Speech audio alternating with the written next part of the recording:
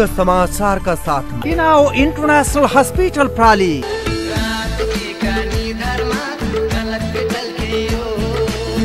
Lumbini ready mix concrete प्राली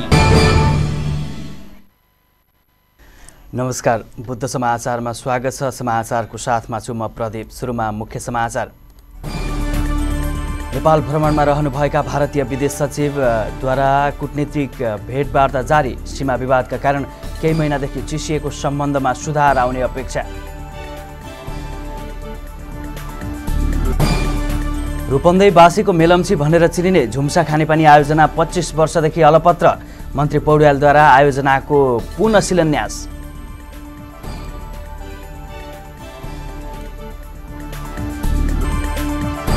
र बुटोल उपमहानगरपालिकामा अनलाइनबाटै राजस्व तिर्न मिल्ने व्यवस्थाको सुरुवात।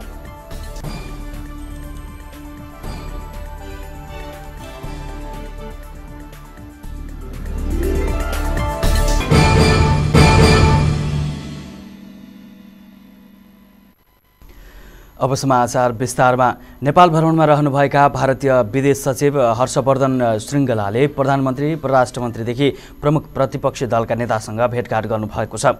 उहाँले परराष्ट्र मन्त्री प्रदीप कुमार गेवालीलाई डिसेम्बरको दोस्रो साता भारतमा हुने परराष्ट्र स्तरीय बैठकको निम्तो समेत दिनुभएको छ।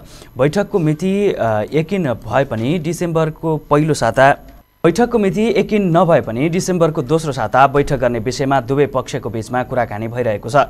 मन्त्री गेवालीसँगको शिष्टाचार भेटमा भारतीय विदेश सचिवले बैठकका लागि निम्ता दिएको स्रोतले बताएको छ।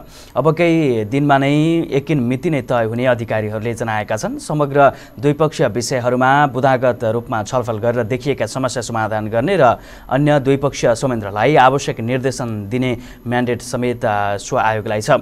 स्व आयोगको बैठक तेइस वर्षपछि सन् दुई हजार चौधमा बसेको थियो जसले कालापानी र सुस्ता लगायतका विषयमा विवाद समाधानका लागि गृह कार्य गर्न परराष्ट्र सचिवलाई निर्देशन समेत दिएको थियो। सन् दुई हजार सोह्र र दुई हजार अठारमा सो आयोगको बैठक बसेको थियो। सो बैठक दुवै देशले पाले पालो गर्ने परम्परा रहेको छ। कोभिड उन्नाइस र दुवै देशको सीमा विवादका कारण नेपाल र भारत बीचमा रोकिएका द्विपक्षीय संयन्त्रका बैठकहरू सुचारू गर्ने विषयमा समेत कुराकानी भएको छ। नेपाल र भारतको बीचमा देशमा डेढ दर्जन द्विपक्षीय संयन्त्रहरू रहेका छन् जसको नियमित बैठक हुन सकेको छैन। गत वर्ष भारतले नेपाली भूभाग अतिक्रमण गरेर नयाँ नक्सा जारी गरेपछि चिसिएको सम्बन्ध बिस्तारै सुध्रिँदै आएको छ। यति मात्र होइन एक वर्षपछि नयाँ भार नक्साको विषयले औपचारिक कुटनीतिक प्लेटफर्ममा प्रवेश समेत पाएको छ। नेपाल भ्रमणको क्रममा भारतीय विदेश सचिवले कोभिड उन्नाइसको बारेमा नजिकको सहकार्य गर्ने प्रस्ताव समेत पेश गरेका छन्। परराष्ट्र मन्त्री गेवालीको भेट पछि नेपाल एउटा नजिकको मित्र भएकोले कोभिडसँग सम्बन्धित सहयोग गर्न पाउँदा आफू खुसी भएको उहाँको भनाइ थियो। यसैबीच परराष्ट्र मन्त्रालयले एक प्रेस विज्ञप्ति प्रकाशित गर्दै दुई देशको बिचमा व्यापार पारवहन कनेक्टिभिटी पूर्वाधार निर्माण लगायतका विषयमा कुराकानी भएको पनि जनाएको छ। स्रोतका अनुसार दुई देशको पञ्चेश्वर परियोजनालाई सकेसम्म छिटो टुङ्गोमा पुर्याउने विषयमा समेत विस्तृत कुराकानी भएको छ। यसै गरी नेपाल र भारतको बिचमा एयरबल उडान गर्ने विषयमा समेत कुराकानी भएको थियो। रूपन्देहीका थप एकजना कोरोना सङ्क्रमितको ज्यान गएको छ। पुटुलुक महानगरपालिका नौका पचासी वर्षीय महिलाको कोरोना विशेष अस्थायी अस्पताल बुटोलमा ज्यान गएको हो। गत कार्तिक चौध गते कोरोना सङ्क्रमण पुष्टि भएकी ती महिला अठाइस गते अस्पताल भर्ना भएकी थिइन्। उनको उपचारको क्रममा बिहिबार बिहान पौने तिन बजे ज्यान गएको अस्पतालका प्रवक्ता डाक्टर विष्णु गौतमले जानकारी गराउनु भयो सङ्क्रमित महिला मधुमेह र निमोनियाको दीर्घरोगी रहेको डाक्टर गौतमले जानकारी गराउनु भएको छ। प्रदेश स्वास्थ्य निर्देशनालय बुटोलका अनुसार रूपन्देहीमा कोरोना सङ्क्रमणबाट मृत्यु हुनेको सङ्ख्या एक सय अठार पुगेको छ। यस्तै जिल्ला प्रहरी रोल्पामा कार्यरत एकजना प्रहरी नायब निरीक्षकको कोरोनाका कारण बिहिबार ज्यान गएको छ। दाङको राप्ती गाउँपालिका वडा नम्बर चार मौरीघाटका बयालिस वर्षीय यज्ञमणी बौद्धिकको उपचारका क्रममा बाँकेको नेपालगञ्ज स्थित भेरी अस्पतालमा ज्यान गएको हो। स्वास्थ्यमा समस्या उत्पन्न भएपछि उनी मङ्सिर दुई गते कोहलपुर मेडिकल कलेजमा उपचारका लागि पुगेका थिए। बाँकेमा कोरोना बाँकेका कोरोना फोकल पर्सन नरेश श्रेष्ठका अनुसार सही वैदिकलाई पिसिआर परीक्षणका क्रममा मङ्सिर तिन गते कोरोना सङ्क्रमण पुष्टि भएको थियो। सोही दिन बेलुका भेरी अस्पतालमा भर्ना भएका थिए। स्वास्थ्यमा सुधार नभएपछि उनको उपचारका क्रममा ज्यान गएको फोकल प्रसन्न श्रेष्ठले जानकारी गराउनु भएको छ। निमोनियाका कारण उनको मृत्यु भएको अस्पतालले जनाएको छ।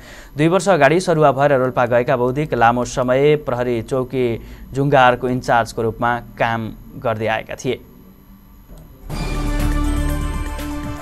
नेपाल भ्रमणमा रहनुभएका भारतीय विदेश सचिव हर्षवर्धनद्वारा कूटनीतिक भेटवार्ता जारी। सीमा विवादका कारण केही महिनादेखि चिसिएको सम्बन्धमा सुधार आउने अपेक्षा। रूपन्देहीवासीको मेलम्ची भनेर चिनिने झुम्सा खानेपानी आयोजना पच्चिस वर्षदेखि अलपत्र अर्थमन्त्री पौड्यालद्वारा आयोजनाको पुनः शिलान्यास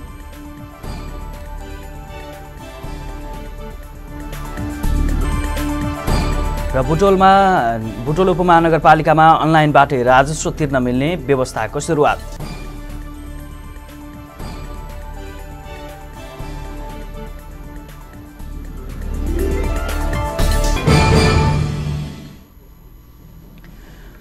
अब बाँकी खबर रूपन्देहीको तिलोतमा नगरपालिका वडा नम्बर छ गोर्खटामा निर्माण हुने पन्ध्र सयको सरकारी अस्पतालको शिलान्यास गरिएको छ।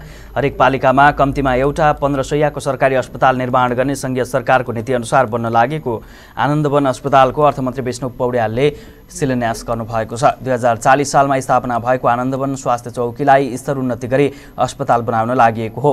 अस्पताल पुनर्निर्माणमा भई सञ्चालनमा ल्याउन सत्र करोड लागत अनुमान गरिएको छ। चौध कट्ठा क्षेत्रफलमा फैलिने अस्पताल स्थापनाको लागि स्वर्गीय गोपाल ओझा अमृत प्रसाद ओझा र शम्भु प्रसाद ओझाको जग्गा उपलब्ध ओझाले जग्गा उपलब्ध गराउनु भएको थियो। दुई हजार चालिस सालमा उहाँहरूले दस कट्ठा जग्गा उपलब्ध गराएर स्थापना गरेको स्वास्थ्य चौकी। अहिले उहाँका छोराहरूले थप चार कट्ठा जग्गा उपलब्ध गराएसँगै अस्पतालमा स्तर उन्नतिमा सहज भएको हो। हाल बर्थिङ सेन्टर र प्रयोगशालासहित सेवा प्रदान गरिरहेको स्वास्थ्य चौकी अस्पतालमा स्तर उन्नति हुने भएसँगै प्राथमिक अस्पताल समूह ख अनुसार सेवा उपलब्ध हुनेछ। शिलान्यास कार्यक्रममा अर्थमन्त्री विष्णु पौड्यालले निर्माण कार्यमा बजेटको अभाव हुन नदिने बताउनु भयो। उहाँले तिलोतमाकै सिमरा बजार स्वास्थ्य चौकीलाई समेत अस्पतालमा स्तर उन्नति गराउन आफूले सक्दो पहल गर्ने तर्क गर्नुभयो।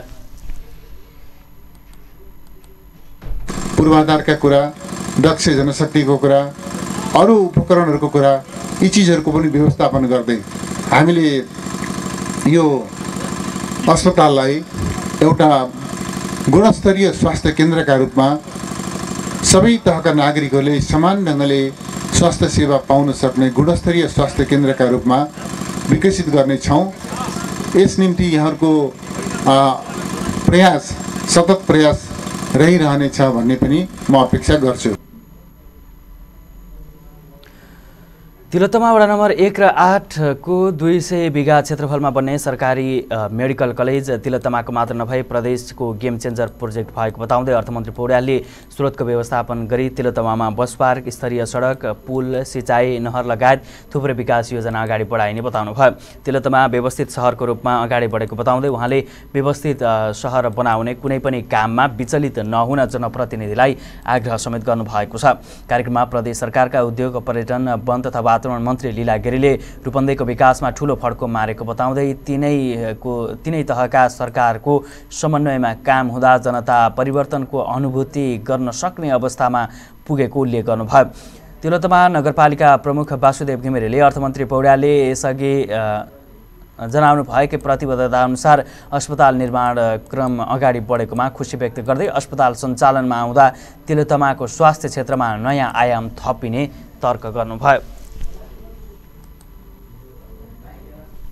हामी आश्वस्त छौँ यस अर्थमा केही दिनमा ती कामहरू पुरा हुनेछन्। अहिले भर्खर पनि सिँचाइ समितिका सभापतिजीहरूले मलाई भन्नु भनिदिनु भनेर भन्नुभएको थियो कि त्यो हाम्रो तर्फबाट निर्माण गर्न लागि जुन सोह्र मौजाको जुन नहर हो छत्तिस सिँचाइ मौजाको चाहिँ नहरमा केही काम व्यवस्थित भएको र सोह्रतिरको चाहिँ काम केही काम कम बाँकी रहेको हुनाले गएको वर्ष काम सुरुवात गऱ्यौँ त्यसलाई उचित सम्बोधन गर्नको लागि यथेष्ट बजेटको आवश्यकता हुनाले अर्थमन्त्रीहरूलाई विशेष व्यवस्था गर्नेछ भन्ने मैले हार्दिक आग्रह गर्न चाहन्छु।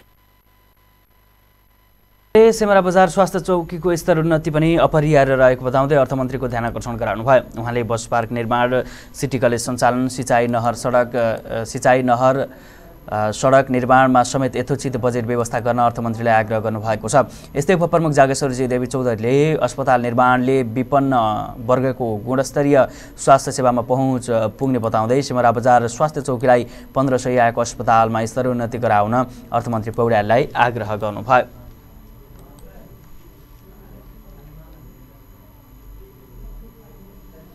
दाङमा एक व्यक्ति गोली लागेको अवस्थामा प फेला परेका छन्। तुलसीपुर उपमहानगरपालिका वडा नम्बर तेह्र बराहखुट्टीका पैँचालिस वर्षीय कुशलराम पौड्याल गोली लागेर गम्भीर घाइते अवस्थामा फेला परेका हुन्। इलाका प्रहरी कार्यालय तुलसीपुर का प्रमुख डिएसपी शिव बहादुर सिंहका अनुसार पौड्यालको ढाडमा तिनवटा र दाहिने खुट्टाको तिग्रामा थप दुईवटा गोली लागेको अवस्थामा फेला परेका छन्। बुधबार राति साढे नौ बजेको अवस्थामा पूर्व पश्चिम राजमार्ग अन्तर्गत दाङको लमही नगरपालिका वडा नम्बर नौ च्याउखोला भन्ने स्थानमा गोली लागेको अवस्थामा फेला परेको डिएसपी सिंहले बताउनुभयो। घाइतेको बाँकेको नेपालगञ्ज नर्सिङ नर्सिङ होममा उपचार भइरहेको छ। पौडेललाई कसले र किन गोली चलायो भन्ने विषयमा अनुसन्धान हुन बाँकी रहेको प्रहरीले जनाएको छ। उनी अ, वन्यजन्तुको शिकार गर्न भनेर गएको हुन सक्ने आशंका समेत गरिएको छ। गुल्मीमा सात सय अठहत्तरजनाले कोरोना जितेर घर फर्किएका छन्। जिल्लामा कुल सङ्क्रमितको सङ्क्रमित आठ सय पैँचालिस मध्ये सात सय अठहत्तरजना कोरोना मुक्त भएर घर फर्केको जिल्ला स्वास्थ्य कार्यालय गुल्मीले जनाएको छ। जिल्लामा हाल पचपन्नजना मात्रै कोरोना सङ्क्रमित उपचाररत रहेको स्वास्थ्य कार्यालय गुल्मीले जनाएको हो। सङ्क्रमितहरू होम आइसोलेसनमा राखेर उपचार भइरहेको छ। जिल्लामा हालसम्म पाँच हजार पाँच सय उनपचासजनाको स्वाब सङ्कलन गरिएको छ। जिल्लामा कोरोनाबाट बाह्रजनाको ज्यान गएको जिल्ला स्वास्थ्य कार्यालय गुल्मीले जनाएको छ। जिल्लामा हाल भने क्वारेन्टिनमा बस्नेहरूको सङ्ख्या शून्य रहेको छ। जिल्लाभर सात सय नब्बेवटा बेडको क्वारेन्टिन निर्माण गरिएको छ।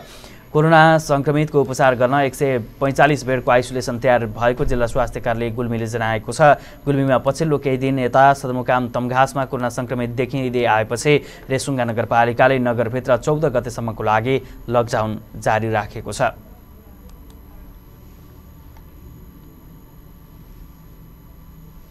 बुटोलबाट प्रकाशित हुँदै आएको दैनिक पत्र दैनिकको सत्रौँ वार्षिकोत्सव कोभिड उन्नाइस र अर्थतन्त्र विषयक अन्तर्क्रिया कार्यक्रम सम्पन्न भएको छ। सो अवसरमा बोल्दै सत्तारूढ नेपाल कम्युनिस्ट पार्टी नेकपाका महासचिव तथा अर्थमन्त्री विष्णु पौड्यालले नेपालको परिवर्तनमा सञ्चार जगतको भूमिका महत्त्वपूर्ण रहेको बताउनुभयो।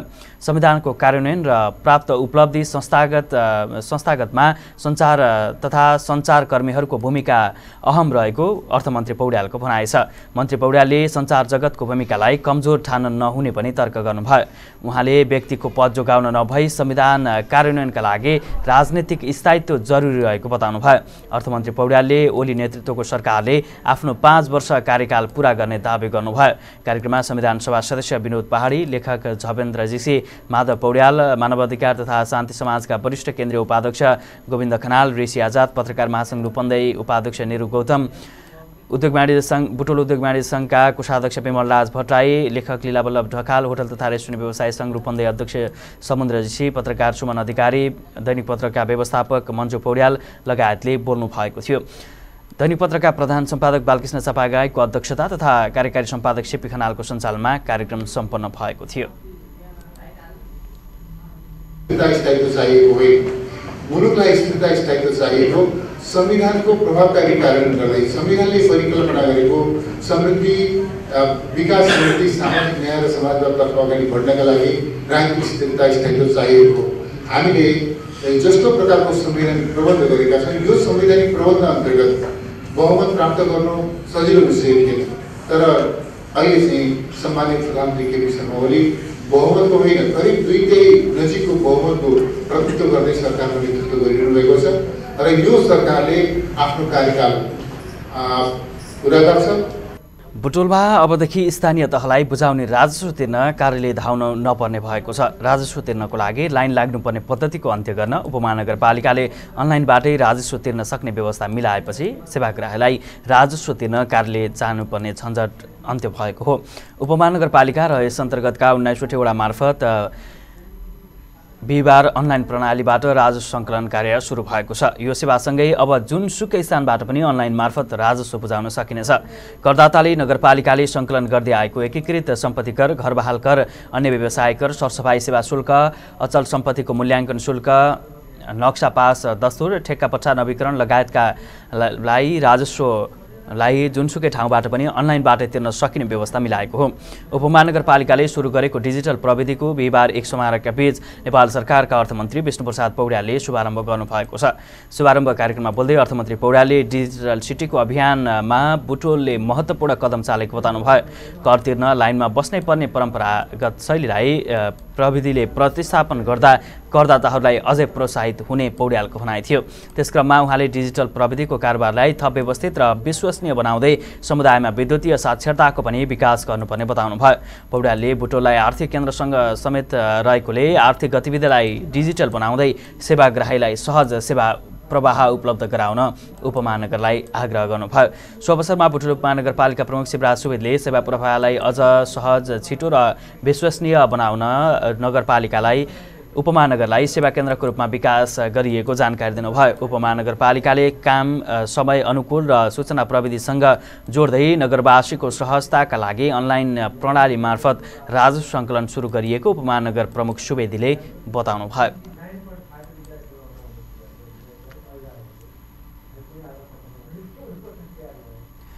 सामाजिक सुरक्षा भत्ता वितरणका लागि लुम्बिनी सांस्कृतिक नगरपालिकाद्वारा शारीरिक तथा मानसिक रूपमा असक्तहरूलाई अ, भत्ता वितरण कार्यक्रम सुरु गरिएको छ। नगरपालिका स्थित महिला तथा बालबालिका कार्यालय प्रमुख राजेन्द्र प्रसाद यादवले दिएको जानकारी अनुसार सम्बन्धित वडा कार्यालयको सिफारिसमा स्वास्थ्य परीक्षण प्रमाणपत्र तथा नगरस्तरीय आसक्त परिचय पत्र वितरण समितिको निर्णयको आधारमा चार प्रकारका आसक्तहरूलाई परिचय पत्र वितरण कार्य थालिएको हो। विश्वव्यापी महामारी कोरोना भाइरस सङ्क्रमणले गर्दा गत आर्थिक वर्षमा पूर्ण अशक्त सत्तरीजना अति अशक्त अस्सीजना तथा मध्यम अशक्त पैँतिसजना सामान्य अशक्त आठजनालाई अशक्तता परिचय पत्र वितरण गरिएको छ भने चौवन्नजनालाई वर्गीकरणमा परेको बालबालिका तथा महिला शाखा प्रमुख यादवको भनाइ छ। विद्यार्थीहरूको नोबेल प्राइज भनेर चिनिने हल्ट प्राइजको अन क्याम्पस इभेन्ट कृषि तथा पशुविज्ञान संस्थान पक्लिहवा रूपन्देहीमा सम्पन्न भएको छ। विश्वभरिबाट सहभागी हुने यस कार्यक्रममा करिब एक सय एक्काइस देशका पच्चिस सय बढी विश्वविद्यालयका विद्यार्थीहरूले भाग लिएको उक्त कार्यक्रममा हल्ट भाग लिएको। उक्त कार्यक्रम Hult foundation Hult international business school र संयुक्त राष्ट्र सङ्घले संयुक्त रूपमा आयोजना गरेको हो। अहिलेसम्म शिक्षा बिजुली पानी खाद्य सुरक्षा तथा अन्य किसिमका चुनौतीहरूमा आधारित रहेर अमेरिकामा बयालिसौँ राष्ट्रपति बिल क्लिन्टनले हरेक वर्ष कुनै न कुनै चुनौतीका निम्ति विषयवस्तु रोज्ने गर्नुभएको थियो। हरेक वर्ष चुनौतीहरू संयुक्त राष्ट्रसङ्घको दिगो विकासमा आधारित रहेर घोषणा गरिन्छ। हल्ट पुरस्कार एक अन्तर्राष्ट्रिय खुल्ला प्लेटफर्म पनि हो जसले विद्यार्थीहरूलाई नेटवर्क र उद्यमशीलतामा अगाडि बढाउन यो अवसर दिने गर्दछ। यो प्रतिस्पर्धा विजेता विद्यार्थीका लागि एक मिलियन अमेरिकी डलर पुरस्कार रहेको छ। भर्चुअल रूपमा आयोजना भएको यस इभेन्टमा छब्बिसवटा टिमको सहभागिता रहेको थियो। अघिल्ला चरणहरू पार गर्दै उत्कृष्ट चार टिमले फाइनलमा प्रवेश गर्न सफल भएको आयोजकले जनाएको छ।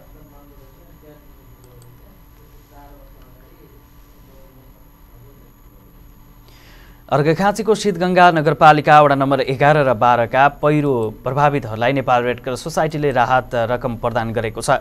जमिन भाँसिएर घरबारविहीन भएका शीतगङ्गा नगरपालिका वडा नम्बर बाह्र कोठिया मैदानका एकाउन्न घर परिवार र दुई नम्बर अ, एघा एकाउन्न परिवार र एघार नम्बर ढुङ्गेश्वरका नौ घर परिवारलाई प्रति परिवार पाँच हजार रुपियाँका दरले राहत प्रदान गरिएको हो। सिद्धगङ्गा नगरपालिकामा गत अश्विन नौ गते जमिन भाँसिएर पहिरो जाँदा साठी घर परिवार विस्थापित भएका थिए। जमिन भाँसिएर पहिरो जाँदा सिङ्गो क्षेत्र नै जोखिममा परेको छ।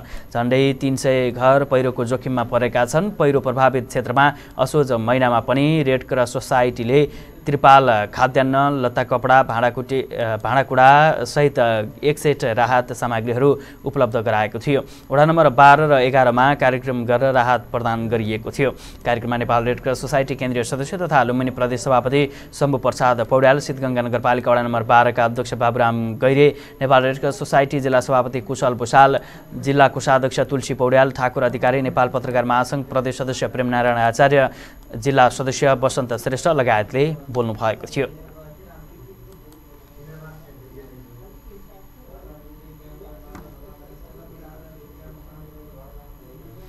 बुद्ध समाचारको अन्त्यमा मुख्य समाचार। नेपाल भ्रमणमा रहनुभएका भारतीय विदेश सचिवद्वारा कूटनीतिक भेटवार्ता जारी। सीमा विवादका कारण केही महिनादेखि चिसिएको सम्बन्धमा सुधार आउने अपेक्षा।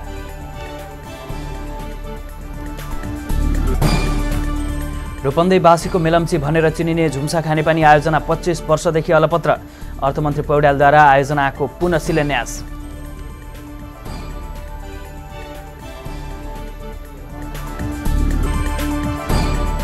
र बुटोल उपमहानगरपालिकामा अनलाइनबाटै राजस्व तिर्न मिल्ने व्यवस्थाको सुरुवात।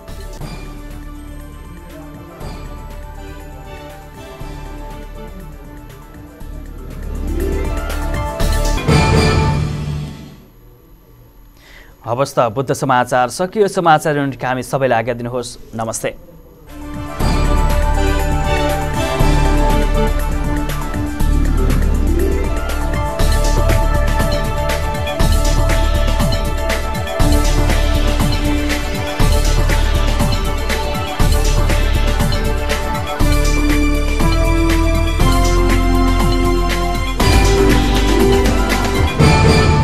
बुद्ध समाचार का साथ बिनाओ किनाओ इंटरनेशनल हॉस्पिटल प्राली